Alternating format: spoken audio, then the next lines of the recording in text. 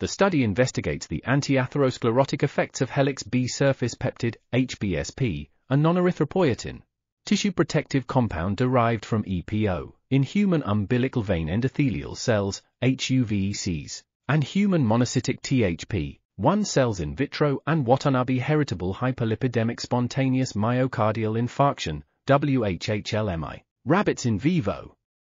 HBSP inhibited apoptosis induced by C-reactive protein, CRP, a direct mediator of atherosclerosis, through activation of Akt. HBSP also attenuated CRP-induced production of tumor necrosis factor, TNF, alpha and matrix metalloproteinase 9 in THP1 cells.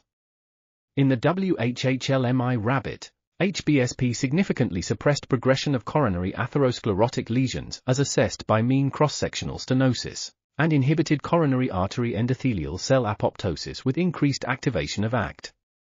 Furthermore, TNF expression and the number of M1 macrophages and M1, M2 macrophage ratio in coronary atherosclerotic lesions were markedly reduced in HBSP-treated animals.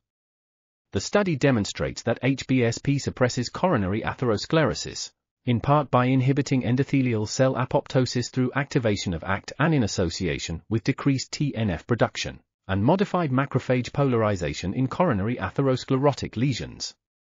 Because HBSP does not have the prothrombotic effects of EPO, the study may provide a novel therapeutic strategy that prevents progression of coronary artery disease. This article was authored by Hiroto Ueba, Masashi Shiomi, Michael Brines, and others. We are RTCL.TV, links in the description below.